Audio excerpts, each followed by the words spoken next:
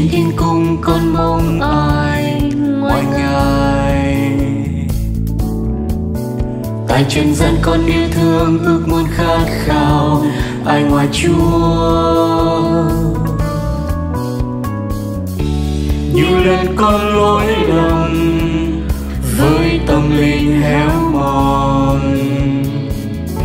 Rồi từ chân lý ngài lại bừng soi trong tâm con, sức tin trong con là do cha sức tin trong con, từ nơi chúa đến ban cho nàng liệp tươi mới trong tâm con cho đến mãi sau. Sức tin trong con là do cha sức tin trong con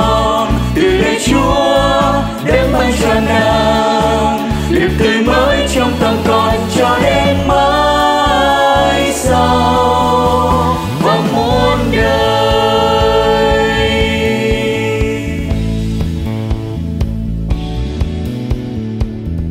Trên thiên cung con mong ai ngoài ngài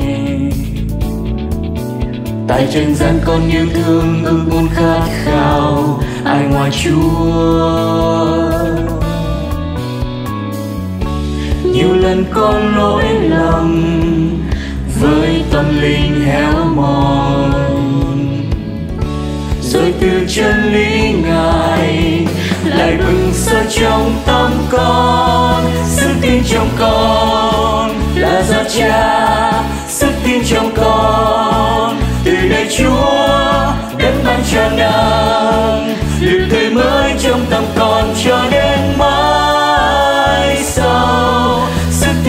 Con là do cha sức tin trong con từ đây chúa đấng ban cho nàng. Liệp tươi mới trong tâm con cho đến mãi sau. Nhiều lần con lỗi lòng với tâm linh héo mòn. Rồi từ chân lý ngài soi trong tâm con. Sức tin trong con là do cha. Sức tin trong con từ nơi chúa đã ban cho nàng. Lực tươi mới trong tâm con cho đến mãi sau. Sức tin trong con là do cha. Sức tin trong con từ nơi chúa